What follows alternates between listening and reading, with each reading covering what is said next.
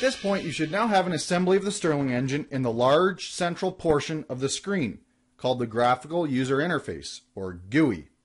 I will quickly say, if your model doesn't look as shiny as mine, don't worry, we will get into that in the next lesson.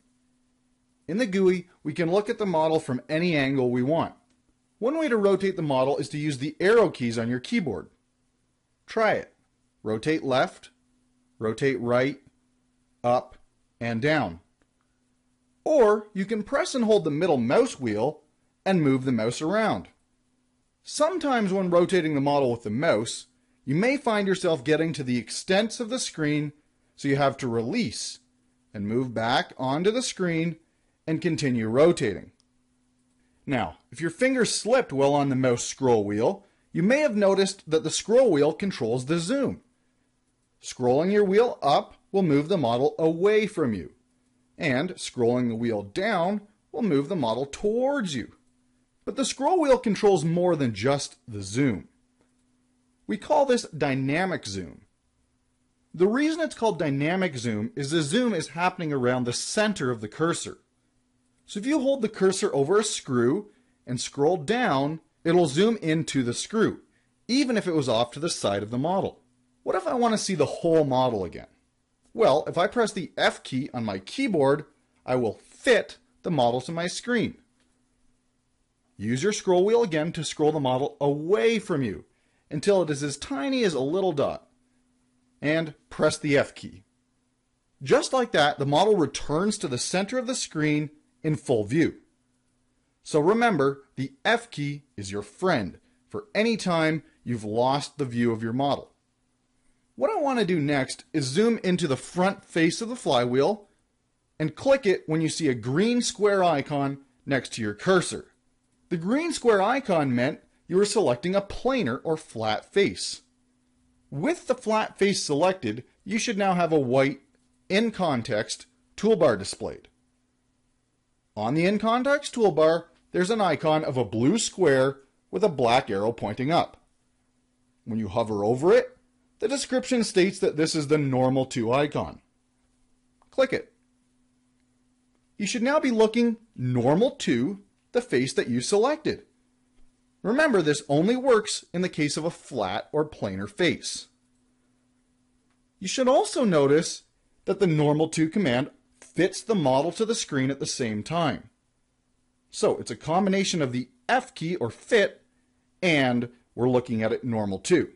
Now let's rotate the part down using the arrows or the mouse, whatever you prefer, so that we're no longer looking directly at the model.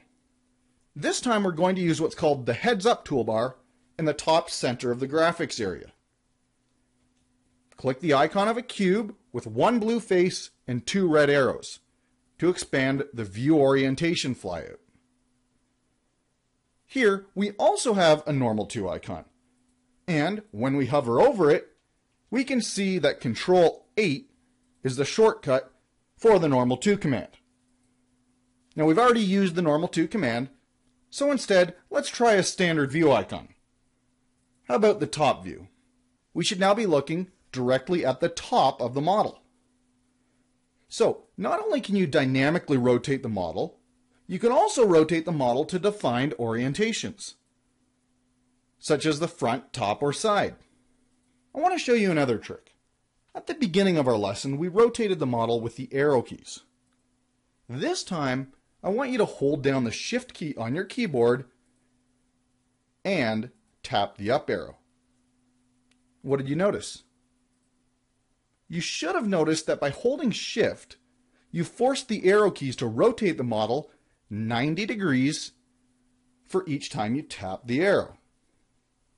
So if you ever want to go from a front view to a top view, just hold down shift and press the down arrow. There are a few other ways we can access the view commands. Hitting the spacebar gives us access to an orientation window with standard views as well as the ability to add our own standard views. So if there's an orientation you want to be able to return to later, you can add that orientation and come back to it anytime you want. Moving on, right-clicking in free space away from the model gives you access to the standard views, as well as the ability to zoom to a specific area. Let's try it. By clicking, dragging, and releasing. Of course, we can also access the zoom command from the heads up toolbar. In the bottom left corner, we have what's called a triad. When you click any of the axes on the triad, we're going to be looking directly at that axis. So let's go ahead and try clicking one of those axes. A feature that's new to SOLIDWORKS 2010 is mouse gestures. To use mouse gestures, we right click and hold in an empty portion of the graphics area. While holding, move your mouse slightly upwards. You should now see a circle divided into four quadrants. By moving the pointer over a given quadrant, you activate the specific command. In later lessons, we'll look at how we customize mouse gestures. But for now, it's simply important that we know that they are there. So if you slip with the right mouse button down, you're going to know what happened.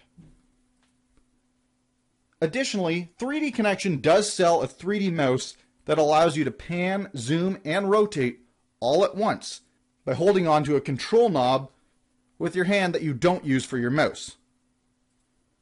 Throughout the training, I will be using a Space Pilot by 3Dconnexion, which will result in clean fluid manipulation of my model. Of course, having one of these devices is by no means necessary, but if you'd like to get one, there is a link in your SOLIDWORKS assembly file to a location where you can purchase one. Next, I'd like to show you the live section view.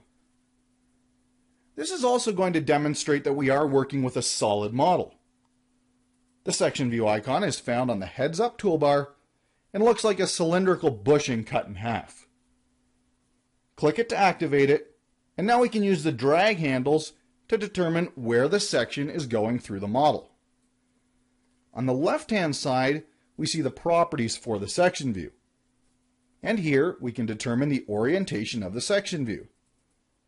Or we can even select a planar face on the model to define the orientation.